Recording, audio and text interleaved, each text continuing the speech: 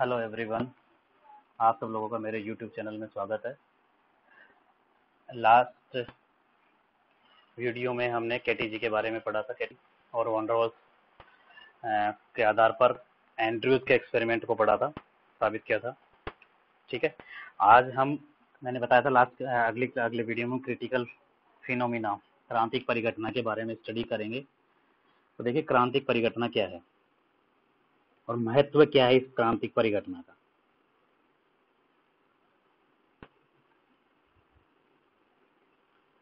बहुत बहुत महत्वपूर्ण है क्रिटिकल फिनोमिना एक गैसों के लिए बहुत महत्वपूर्ण चीज़ है। देखिए क्या होता है क्रिटिकल फिनोमिना मैंने आपको, अगर याद हो तो आपको मैंने बताया था कि किसी गैस पर अगर दाब लगाया जाए यानी कि उस पर बहुत ज़्यादा दाब लगा दिया जाए तो वो गैस फाइनली किसमें कन्वर्ट हो जाती है? लिक्विड में परिवर्तित हो जाती है अकॉर्डिंग टू जूल थॉमसन का एक्सपेरिमेंट आपने पढ़ा है सब। ठीक है, यानी कि हाई प्रेशर पर गैसें किसमें कन्वर्ट हो जाती है? लिक्विड में कन्वर्ट हो जाती है। चलिए, ये तो बात सही है कि हाई प्रेशर पर गैसें लिक्विड में कन्वर्ट हो जाती है। लेकिन यदि गैसों को लिक्विड में परिवर्तित करना है यानी कि गैस को द्रव में परिवर्तित करना है लिक्विफिकेशन करना है गैस का तो दाब महत्वपूर्ण नहीं है। दाब जो है, ये महत्वपूर्ण नहीं है। अब तक हम दाब दाब दाब करते आ रहे कि उच्च दाब लगाया, गैस लिक्विड में परिवर्तित महत्वपूर्ण है ताप, जो वेरी वेरी इंपॉर्टेंट जो प्रॉपर्टी है वो तो गैस की, वो ताप है कि, ताप वह है कि गैस का, मान लीजिए एक फिक्स टेम्परेचर है। उस टेम्परेचर के, इस टेम्परेचर के नीचे वाली ये, मान लीजिए टेम्परेचर है, इस टेम्परेचर के नीचे दाब लगाकर प्रेशर लगाकर गैस को लिक्विड में बदल सकते हैं। लेकिन अगर टेम्परेचर का मान इस रेंज के ऊपर है, यानी कि यहाँ है तो यहाँ आप चाहे कितना ही दाब बढ़ा लो, गैस को लिक्विड में परिवर्तित नहीं किया जा सकता। ऐसा ताप कहलाता है क्रांतिक ताप। क्रिटिकल टेम्परेचर टीसी तो टीसी वह ताप है जिसके नीचे दाब लगाकर गैस को लिक्विड में परिवर्तित किया जा सकता है, लेकिन इसके ऊपर दाब लगाकर गैस को लिक्विड में परिवर्तित नहीं किया जा सकता, जो अब तक हम कहते आ रहे थे कि उच्च दाब लगाया और गैस किसमें कन्वर्ट हो गई? लिक्विड में नहीं। उस कंड में लिक्विड में तभी कन्वर्ट होगी जब दाब का मान सॉरी ताप का मान कितना होगा? क्रिटिकल टेम्परेचर के बराबर या उससे कम। तो क्रिटिकल टेम्परेचर वह टेम्परेचर है जिस पर किसी गैस को लिक्विड में परिवर्तित किया जा सकता है, दाब लगाकर, लेकिन इसके ऊपर नहीं। और इसी टेम्परेचर के संगत जो दाब होगा, इस टेम्परेचर संगत जो दाब होगा, वो क्रिटिकल प्रेशर कहलाएगा। क्रिटिकल प्रेशर कहलाएगा, यानी कि क्रांतिक दाब कहलाएगा। ठीक है? और इस क्रांतिक ताप और दाब के संगत जो आयतन होगा यानी टीसी एंड पीसी के संगत करेस्पॉन्डिंग जो आयतन होगा, संगत आयतन होगा, वो क्रांतिक आयतन कहलाएगा। क्रांतिक आयतन बीसी कहलाएगा। क्लियर तो यानी कि अब यहाँ से क्लियर होनी चाहिए कि किसी गैस को लिक्विड में बदलने के लिए दाब महत्वपूर्ण नहीं है। महत्वपूर्ण कौन है? टेम्परेचर टेम्परेचर जो महत्वपूर्ण रोल प्ले करता है यानी कि वह ताप जिसके नीचे किसी गैस को दाब लगाकर लिक्विड में परिवर्तित किया जा सकता है क्रिटिकल टेम्परेचर कहलाता है लेकिन अगर टेम्परेचर का मान इस क्रिटिकल टेम्परेचर से ज़्यादा है तो चाहे आप कितना ही दाब लगा लो, उस गैस को लिक्विड में परिवर्तित नहीं किया जा सकता। अब इसके लिए एंड्रयूज नामक वैज्ञानिक ने वास्तविक गैसों के लिए ताप के साथ ग्राफ प्लॉट किया कि कैसे ताप के साथ वेरिएशन होता है। ठीक है पी और वी वक्र खींचे उन्होंने तो वास्तविक गैसों का पी वी वक्र, देखिए क्या होता है, समतापी वक्र बोलते हैं इसको। तो वास्तविक गैसों का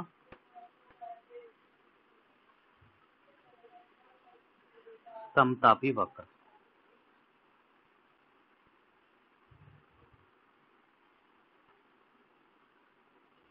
देखिए इस पे, इस पे क्या है? देखिए कैसे ग्राफ आया? ये P और V ग्राफ है ठीक है? एंड्रयूज ने बनाए थे पीवी ग्राफ। स्टार्टिंग में देखिए क्या होता है। जैसे ये ग्राफ फ़र्स्ट ग्राफ इस तरह से आया।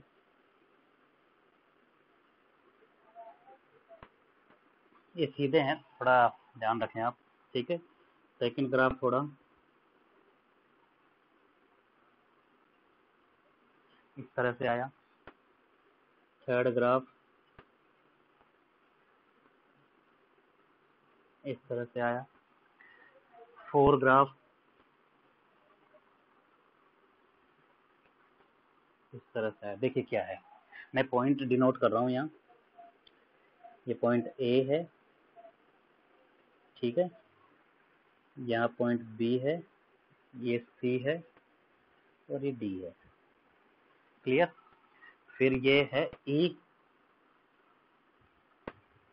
ये एफ़ जी एच फिर ये आई फिर ये जे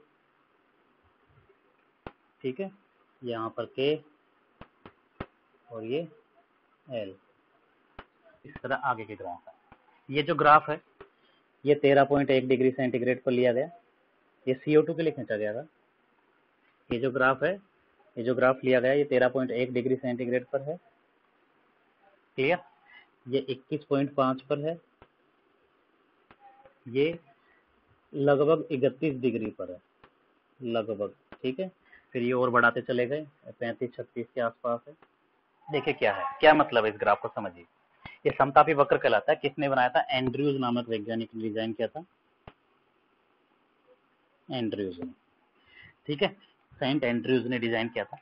देखिए क्या क्या है पहले बात करते हैं तेरह पॉइंट एक डिग्री सेंटीग्रेड पर, जैसे ही आयतन कम किया ए से बी की तरफ़ चलना शुरू किया, जैसे ही आयतन कम किया सॉरी जैसे ही दाब जैसे जैसे दाब का हम मान बढ़ाते हैं, ये ऊपर की तरफ़ जा रहा है, यूँ, इस तरह, यूँ जा रहा है, ये ध्यान रखना, ये ग्राफ, ठीक है, यूँ यूँ यूँ यूँ यूँ बढ़ता जा रहा है।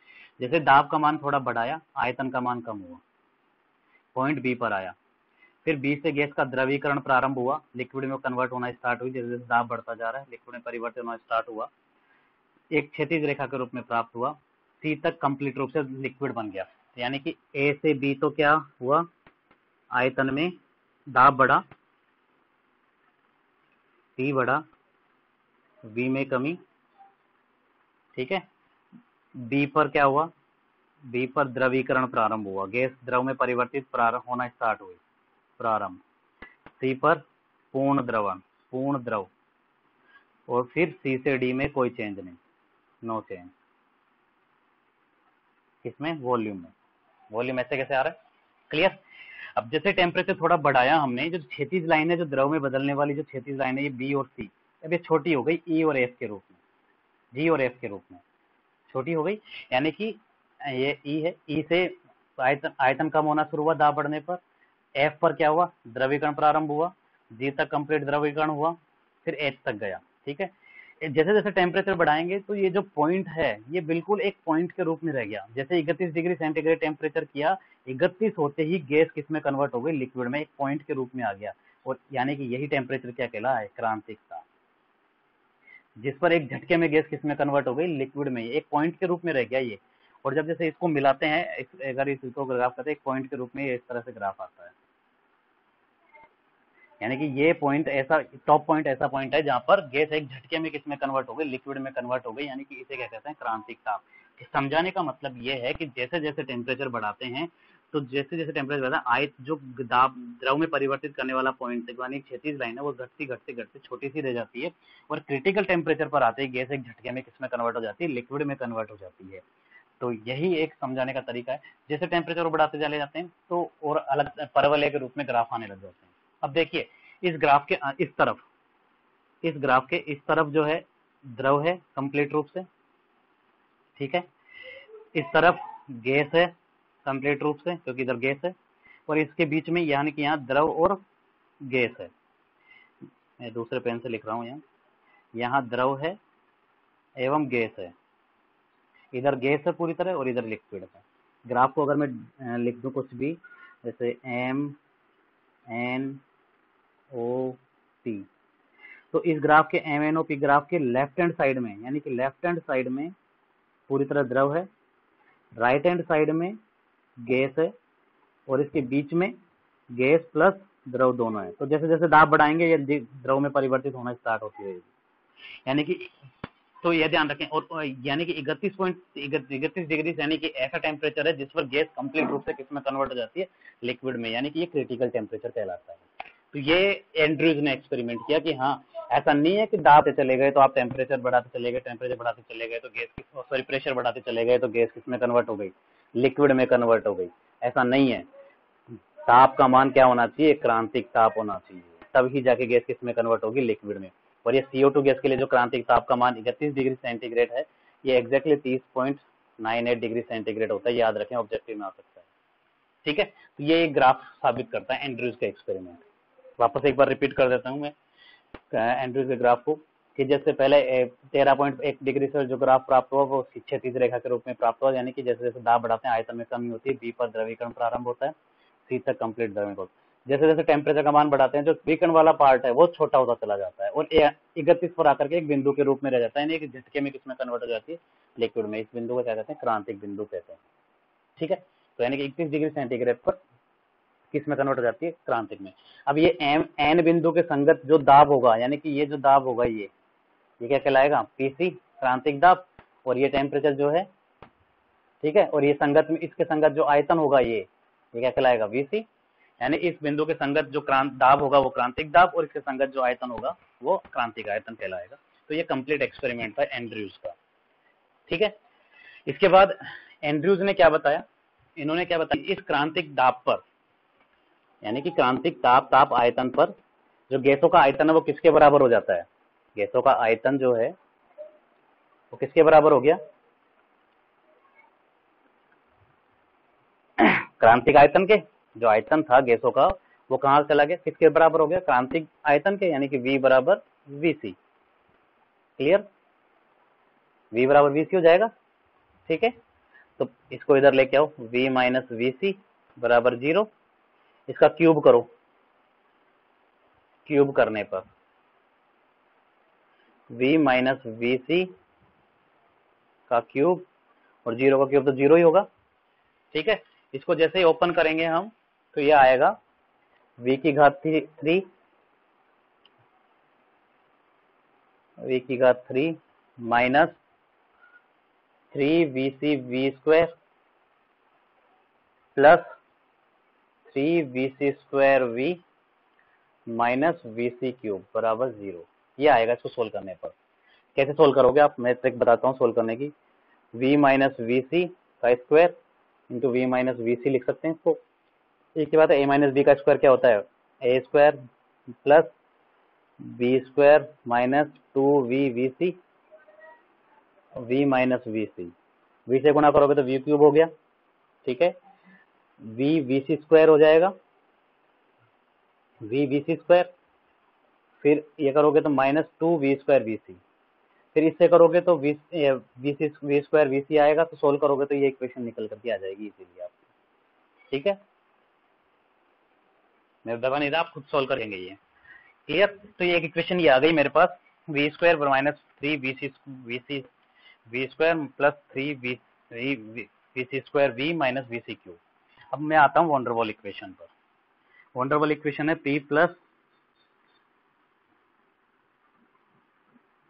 P plus A upon V square V minus D बराबर आर टी यही इक्वेशन है।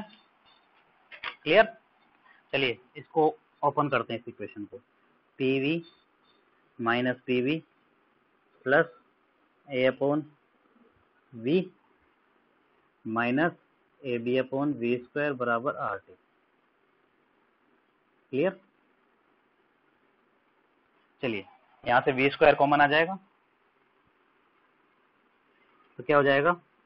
P V cube P V cube हो जाएगा minus P B V square minus sorry plus A V minus A B बराबर R T या R T V square हो जाएगा इधर से। तो P V cube minus B P B V square plus A V minus A B बराबर R T V square R T को इधर लेके आएँगे तो P V cube minus P B V square plus A B minus A B plus minus R T V square बराबर zero. ठीक है? चलिए देखिए।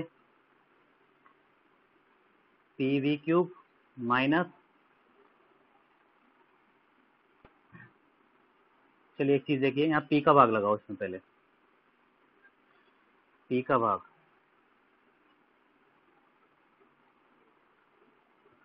पी का भाग लगाना, पी से P cancel, V cube minus B V square, P cancel, plus A upon P into V minus A B upon P minus R T upon P into V square बराबर zero ठीक है? चलिए।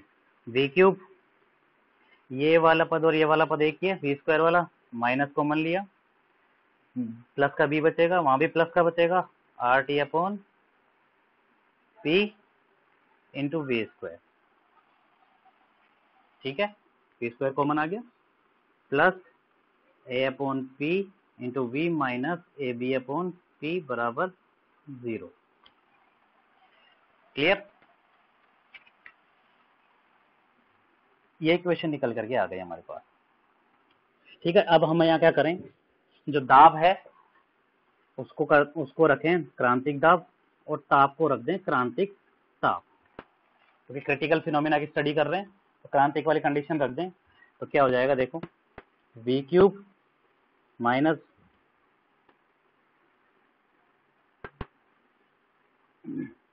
V cube minus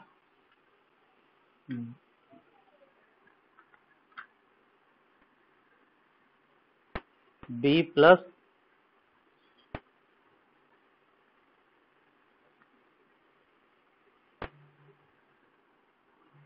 एक V cube तो देखिए क्या हो जाएगा यहाँ से थोड़ी दिक्कत हो गई थी सॉफ्टवेयर में। वापस स्टार्ट हो गया। B plus R R T C हो जाएगा ये। B plus R T C upon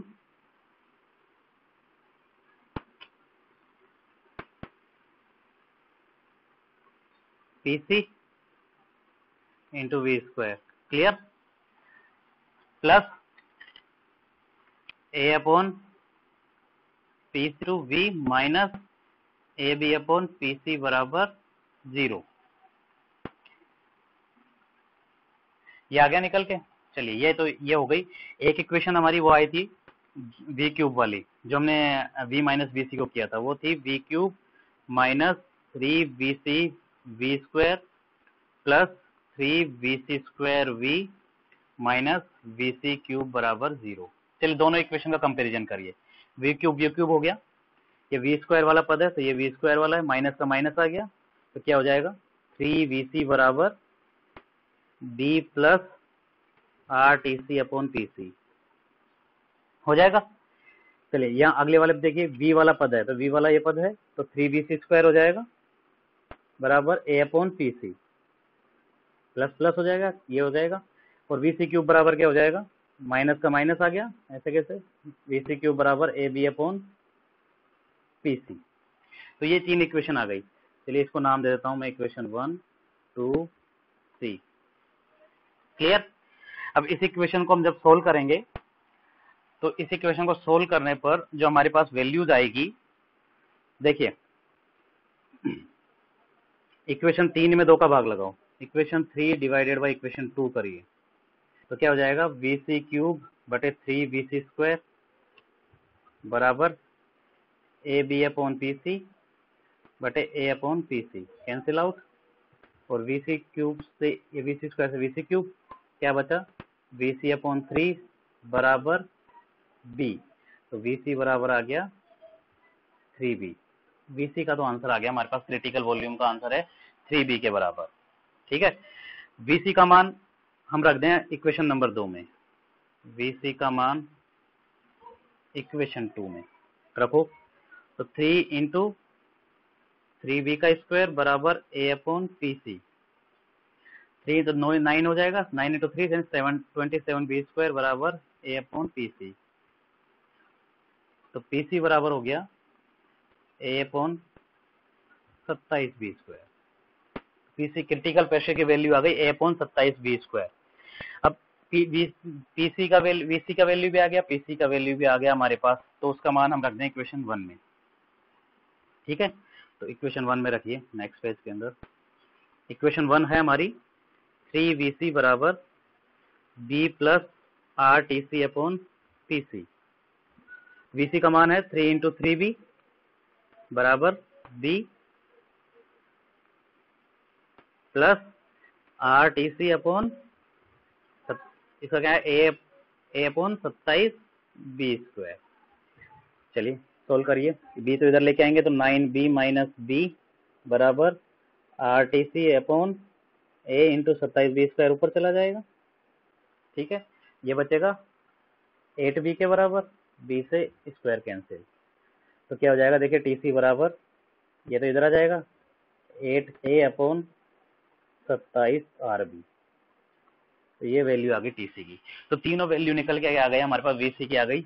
VC बराबर आ गया थ्री बी टीसी बराबर आ गया ए अपॉन सत्ताईस बी स्क्वायर और टीसी बराबर आ गया एट ए अपॉन सत्ताईस बी स्क्वायर ठीक है? तो ये तीनों वैल्यू हमारे पास निकल के आ गई। ये डेरिवेशन आ जाता है भाई एग्ज़ाम में। और तीनों वैल्यू तो याद अभी रखनी है आपको। नेक्स्ट है, हमें ए और बी की वैल्यू कैलकुलेट करनी है। क्लियर चलिए, देखिए इक्वेशन नंबर हमारी, देखते हैं। इक्वेशन नंबर दो से। इक्वेशन दो से। देखिए, आप सबने लिख रखी है इक्वेशन उसी के अकॉर्डिंग देख रहे हैं हम। इक्वेशन दो से बताइए। इक्वेशन दो थी हमारी थ्री वी सी स्क्वायर बराबर ए अपॉन पी सी तो ए बराबर क्या हो गया यहाँ से? Three V C square P C ठीक है? ए बराबर हो गया three V C square P C clear और इक्वेशन नंबर हमारे पास सी की वैल्यू आई थी थ्री बी तो बी बराबर क्या हो गया? वी सी अपॉन थ्री तो ए और बी की वैल्यू हमारे पास आ गई वी सी अपॉन थ्री अगर याद हो तो आपको वी सी बराबर थ्री बी आया था तो बी वी सी अपॉन और ए बराबर आ गया three B C square into P C clear तो ये वैल्यूज़ हमने कैलकुलेट कर ली वॉन्डरवॉल समीकरण की सहायता से और क्रिटिकल फिनोमिना को यूज़ करते हुए. ओके अब देखिए हम एक तरीका और कर सकते हैं। जो हमारी समीकरण नंबर तीन है, उसकी सहायता से ए की वैल्यू और निकाल सकते हैं, समीकरण तीन से। समीकरण तीन क्या थी? Three B C cube sorry B C cube बराबर A B upon P C. B C cube का मान है बी सी का मान थ्री बी तो थ्री बी का क्यूब यानी कि सत्ताईस। ठीक है आप लिखते जाएँगे तो बहुत अच्छा रहेगा इसको। सत्ताईस बी क्यूब ठीक है? बी से स्क्वायर बार कटा तो ए बराबर हो गया ए बराबर हो गया सत्ताईस बी स्क्वायर पी सी इस तरह से आप और भी वैल्यूज़ निकाल सकते हैं, बहुत सारी वैल्यूज़ निकाल सकते हैं। क्लियर तो सत्ताईस B square upon P C तो इससे आप वैल्यूज़ निकाल सकते हैं इजी है, बहुत है। क्लियर तो बी बराबर बी सी अपॉन थ्री आया। इसके अलावा हम और वैल्यूज़ रख सकते हैं यहाँ पर।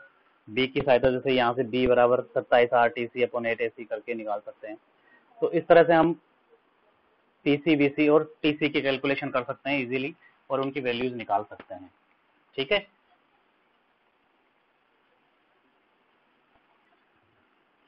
देखिए अब मैं उम्मीद कर रहा हूँ आप लिखते जा रहे होंगे। अब देखिए, जो वीसी की वैल्यू ये बी की वैल्यू जो आई है, ये वीसी के पदों में आई है। ये जो है वैल्यू हमारे पास, ये वीसी के पदों में है। और जो वीसी की वैल्यू है, वो एक्यूरेट नहीं होती। पीसी वीसी की वैल्यू में हमें ये ए और बी की वैल्यू निकालनी अब हमारी इक्वेशन नंबर आप आइए, हमारे इक्वेशन नंबर वन पर। चलिए नेक्स्ट पेज पे आते हैं। इक्वेशन वन क्या कहती है? थ्री वी सी बराबर B plus three V C बराबर B plus R T C upon P C sorry R T C upon P C ठीक है? यही है। B plus R T C upon P C V C का value कितनी है?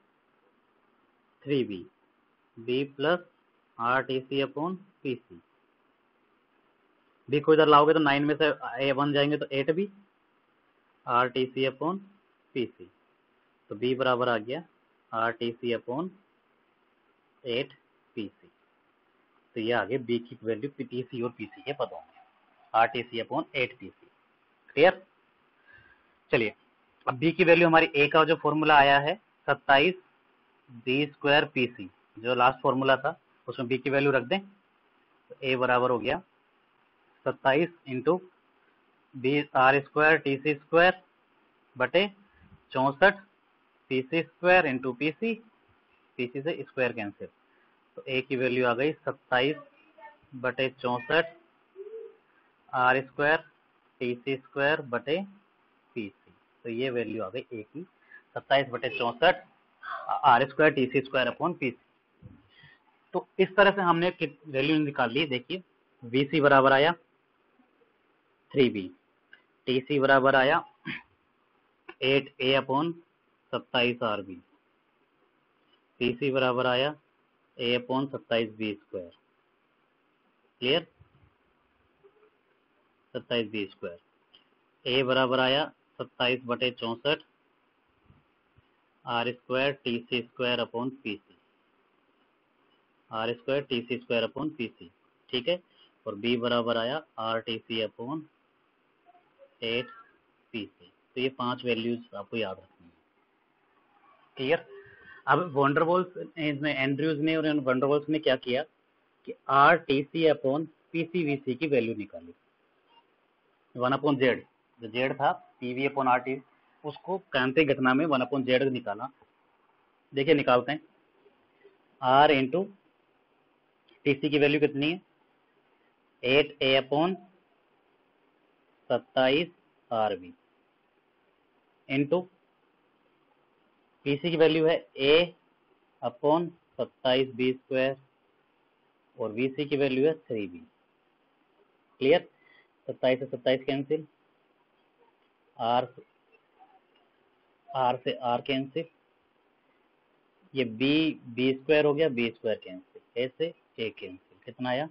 Eight by three यानी कि टू पॉइंट सिक्स सेवन ठीक है? तो R T C upon P C V C पूछ सकते हैं। R T C upon P C V C की वैल्यू बराबर कितनी होती है? तो वो होती है two point six seven eight by three और एक्सपेरिमेंटली जो वैल्यू आई, वो आई तीन से चार के बीच। तीन से चार के बीच में जो एक्सपेरिमेंटल वैल्यू आई। तो यानी थोड़ा सा जो, ये डिफरेंस आ रहा है, इसको बाद में continuity law of corresponding state उसके द्वारा करेक्ट किया गया। करेस्पॉन्डिंग स्टेट के लॉ के द्वारा करेक्ट किया गया। ठीक है, जो थोड़ा सा डिफरेंस आ रहा है, वो वहाँ पर करेक्ट किया गया और फिर उस नियम से अकॉर्डिंगली एक्यूरेट आया। तो वॉन्डरवॉल्स कुछ हद तक क्लीन साबित करता है, सब कुछ क्रिटिकल फिनोमिना सबको। बस थोड़ा सा डिफरेंस आ रहा था 2.67 और 3 से 4 के बीच में जो डिफरेंस आ रहा है, वो करेस्पॉन्डिंग स्टेट के द्वारा करेस्पॉन्डिंग लॉ जो है करेस्पॉन्डिंग स्टेट का जो लॉ है, उसके द्वारा साबित किया गया और सिद्ध किया गया। ठीक है? तो ये कंप्लीट एक डेरिवेशन है वॉन्डरवॉल्स का क्रांतिक के द्वारा क्रांतिक घटनाओं का फिनोमिना जो है, जो एंड्रूज ने पहले क्रांतिक फिनोमिना के बारे में जानकारी दी थी, और उसको एक्सपेरिमेंटली साबित, इन्होंने पूरा कंप्लीट डेरिवेशन किया गया वॉन्डरवॉल्स समीकरण की सहायता से। क्लियर तो उम्मीद है आप लोगों ने लिख लिया होगा डेरिवेशन बहुत आ जाता है एग्ज़ाम में। हमने लिख लिया होगा, लिख के याद करेंगे तो बहुत अच्छा रहेगा। इसके बाद करेस्पॉन्डिंग स्टेट का नियम पढ़ेंगे। कि करेस्पॉन्डिंग स्टेट का नियम क्या होता है, जो अभी बताया मैंने आपको। और गैस गैसों को द्रव में बदलने की विधियाँ कौन कौन सी है, वो पढ़ेंगे। तो एक लास्ट वीडियो और आएगा केटीजी का, वो अपन नेक्स्ट क्लास के अंदर नेक्स्ट वीडियो में मैं आपको बताऊँगा। अगर कोई प्रॉब्लम हो तो आप कमेंट करें। और चैनल को लाइक करें, सब्सक्राइब करें, अपने दोस्तों के बीच ज़रूर शेयर करें, ताकि उन तक भी पहुँचे, पूरी नॉलेज पहुँचे केमिस्ट्री की। ठीक है? Thank you